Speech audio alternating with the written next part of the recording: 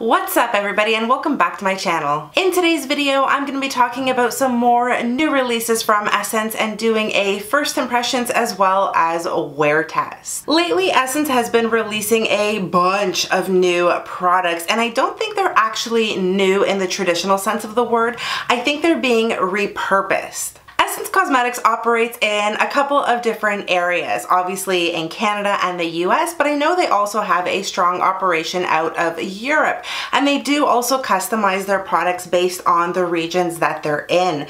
And I think a lot of the new releases that have been coming out lately have actually been coming over from Europe and the UK. So they're not technically new releases because they've been out for a while, but they're new to the audience that they're being brought to. So if you're interested in seeing what's new and exciting from Essence. Make sure you keep on watching and don't forget to subscribe to my channel so you don't miss any of my upcoming videos. As you can see, I have a bare face. I don't have anything on except my eye cream as well as my moisturizer because I'm going to be diving into a few different products. So I'm actually going to be starting with this new primer here from Essence. It's called the Fresh and Fit Awake Primer. Healthy Grow, Healthy Grow what the hell am I trying to grow on my face? Healthy Glow Pore Minimizing Effect with Vitamin Complex and Cranberry Water. I'm not exactly sure the benefits of cranberry water, but we're gonna roll with it. I also got a color correcting concealer in the color green, and this is for anti-redness. I love that it just says it right on the cap here for you. They do have a yellow one, a pink one, so whatever types of color correctors you need, you can find them through Essence, and these are actually really, really affordable. I believe they were either $3.99 or $4.99 each. I also picked up their Camouflage Full Coverage Concealer. Sadly, this only comes in two shades and I don't think I was even able to find a really good shade for myself. Um, both are extremely fair and light colors.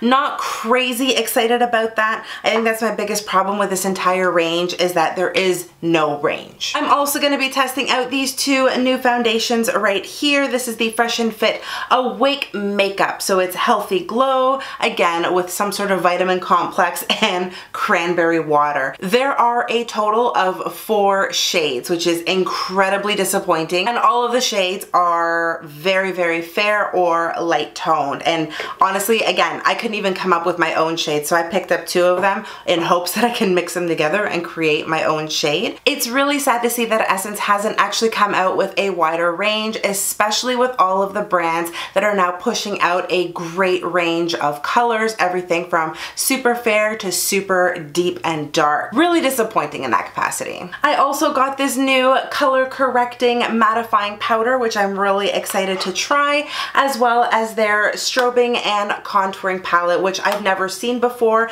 I'm really, really excited to test this out. So that's a quick glimpse at all of the items that I will be trying on today, just to give you a bit of a heads up. And now we're just going to throw everything onto my my face. First, I'm gonna go in with this primer right here, and I'm actually a little bit nervous because I don't normally use glowy sort of primers, um, mostly because I do have oily skin and I don't typically like anything that highlights any of my oils and my pores and my texture. I also tend to prefer more mattifying primers, so not sure how this is gonna work throughout the day. It is blending out nicely. It smells very fresh. It's not obnoxious, thank goodness. Now I'm gonna go in with my color corrector and I'm just gonna put this just on my cheeks over here. I'm just gonna take a little bit, not too much, because I also don't know how pigmented this is gonna be. I feel like this didn't really have that much pigment to it, but it does seem to have calmed down some of my redness. I wouldn't say drastically, but okay. And now I'm gonna go in with this foundation. Like I said, I did have to purchase two so I can mix them together to create my own color. Um, I got number 10 Fresh Ivory and number 30 Fresh Honey. Both of these seem to have more of a neutral undertone to them. The one that was in the middle actually had a very pink undertone and I know that's not gonna look good on me. So I'm gonna take, I like that it's a pump, a pump onto the back of my hand of each.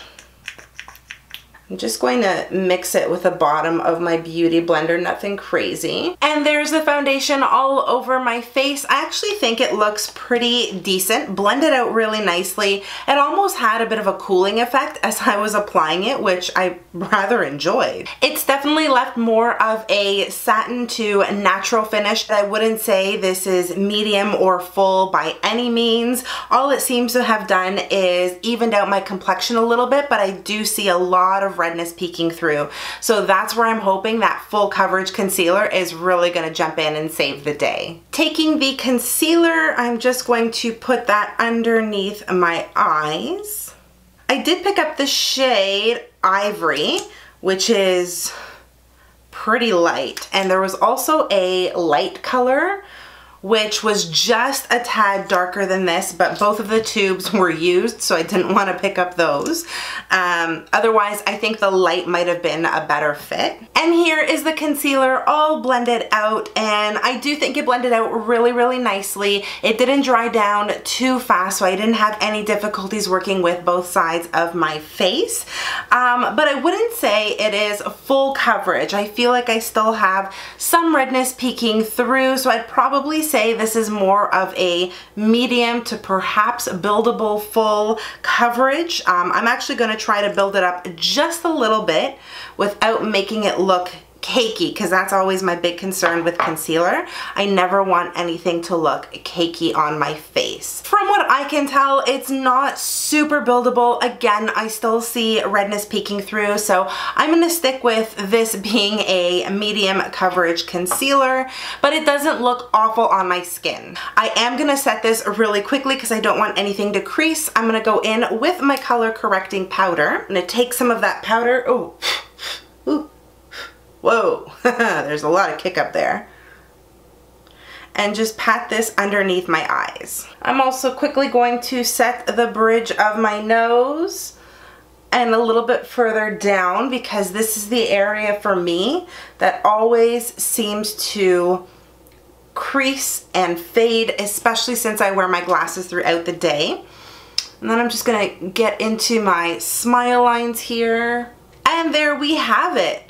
I think the powder went down really, really nicely. It feels very smooth on my skin. Um, as for its color correcting abilities, I'm not seeing a huge difference, but I'm also not mad at it. Let me know in the comment section though if you guys do see a difference now that the powder is on. Now I'm gonna dive into this contour palette right here and I'm gonna do a little bit of mild contouring. And I'm not really sure what color I'm gonna go in with. These all seem to be a little more on the warm side and I tend to prefer a bit of a ashier contour so it gives me more of a shadow. Um, so I think this is the ashiest color. so I'm gonna try going into this and I'm also gonna mix it with a little bit of this middle color right here. So this one and this one, just so I can get more of a lighter tone to the ash. And I'm gonna blend that out with one of the cleaner sides of my Beauty Blender.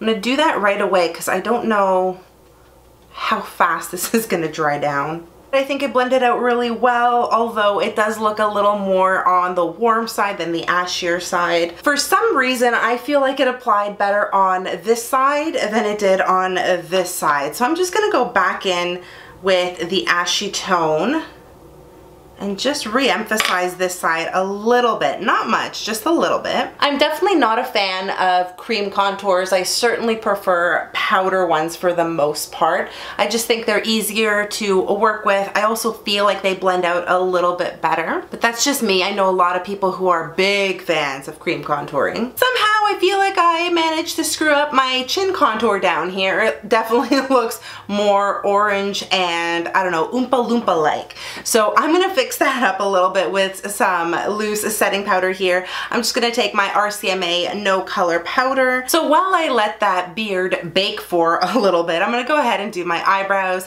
I don't have anything from Essence to, to work with for my eyebrows, so I'm just gonna go in with my CoverGirl Easy Breezy Brow product. I absolutely love this stuff brows are now on and I'm going to dust off this powder and that definitely has helped. Thank God. I'm gonna go ahead and finish off the rest of my face now and I will be right back. The rest of my face is now on and I do like how the products all play together with one another. I'm gonna zoom you in a little bit closer so you guys can see some of the problem areas that I'm noticing right off the bat. As you can see, it's sitting well everywhere on my face. Everything seems to look okay, but when you look at my nose, my nose feels very patchy. It looks like the foundation is just sitting on top of it. It hasn't really gone into my pores and absorbed nicely.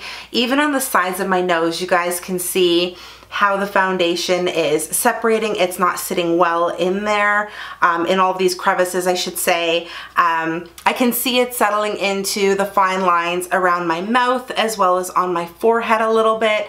But I'm hoping that once my natural oils kind of mix in with this foundation, things are gonna calm down a little bit, maybe look a little bit better.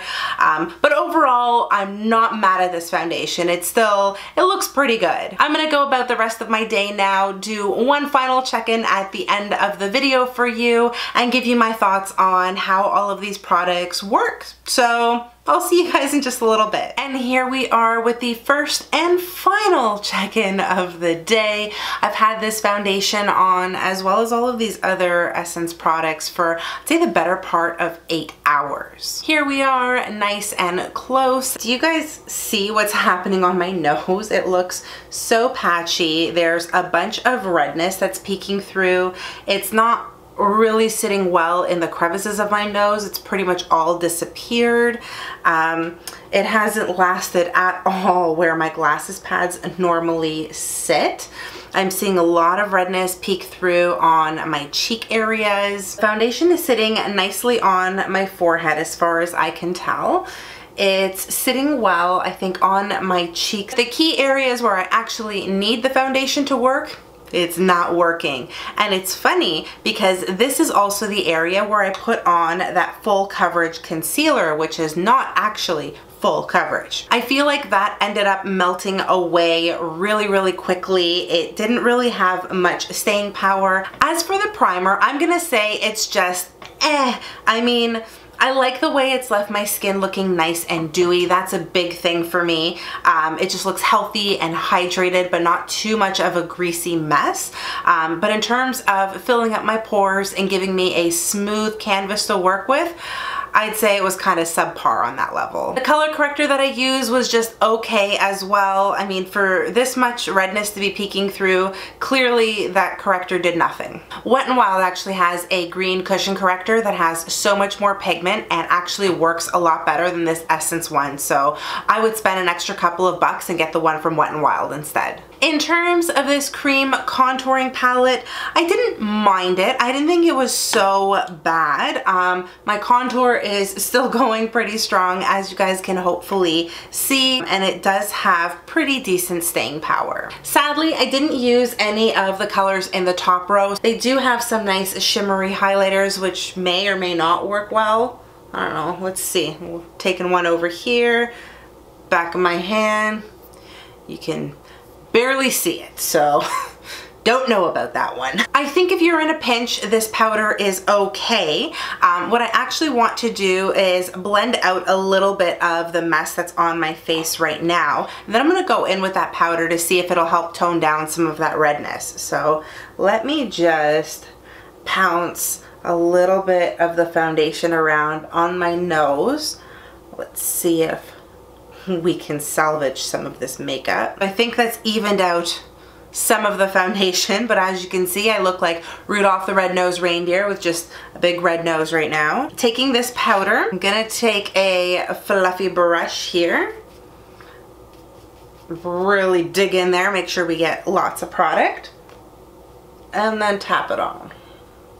I don't know if that powder really did much. Um, it did tone down some of the redness, I'll be honest there. But then I'm noticing on my cheek area over here, and hopefully you guys can see this, it's just sitting on top of my skin, actually looking really, really gross. um, it looks very scaly from where I'm sitting and really looking at my face up close in this little mirror here. I'd say if you're in a pinch, this is okay for setting some of your makeup. I wouldn't use it for touch-ups though, at least not on very oily and textured skin. Overall, I thought the products were just eh, I definitely prefer all of the eye makeup that I tried out in my previous new Essence Cosmetics makeup video. Um, I even love their lip products. I thought those were a lot better. What I'm looking at right now is just okay. I mean, if you really want to test it out, I say maybe grab the primer and grab the foundation if you have a shade that matches you. Otherwise, I don't think these items are really worth it. I would pick up this contouring palette though if you are looking for a cream contour that's super affordable. I think you'll definitely get good value and good use out of this, but everything else, I would pass. All right, and that is it for this video. I really hope you enjoyed it. If you did, you know the drill. Give it a big thumbs up and subscribe if you aren't already. You can also connect with me on all of my social media. I'm gonna link everything for you in the description box below. Thank you again so much for watching and for listening to me babble as long as I did. I really hope you enjoyed the video and I hope you're having an amazing day no matter where you are in the world. Stay beautiful and I'll see you in the next one. Bye guys.